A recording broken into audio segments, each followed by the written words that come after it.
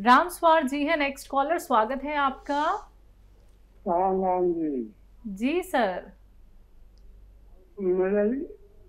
साहब को राम राम। जय हिंद स्वागत भाई आपका बहुत बहुत मेरा जी पेट में गड़बड़ है। पेट में?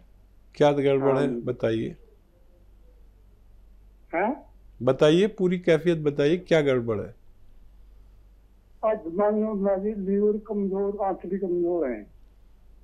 ठीक है ठीक है ठीक है। क्या उम्र है आपकी और कब से तकलीफ़ है? यह पाँच सात साल से जी। हाँ देखिए पाँच सात साल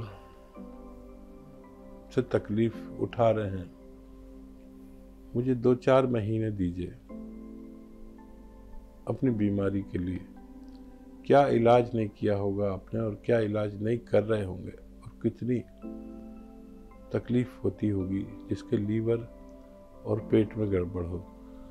लीवर की वजह से ही आपके पेट में तकलीफ़ है। जब हमारा लीवर बढ़ जाता है या कमज़ोर पड़ जाता है या सूज जाता है या अपना काम ज़िम्मेदारी से नहीं करता तो हमारे हाजमे पर भी फ़र्क पड़ता है।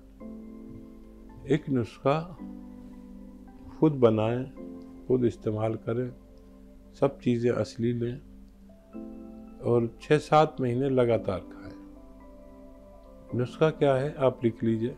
सौंफ, सौंठ, जीरा, अजवाइन, धनिया, अलसी। ये थोड़ा सा बदला है मैंने नुस्खा। सौंफ, सौंठ, जीरा, अजवाइन, धनिया और अलसी। अलसी भी आप जानते होंगे। छह चीज़ें शायद आपके किचन में मिल जाए।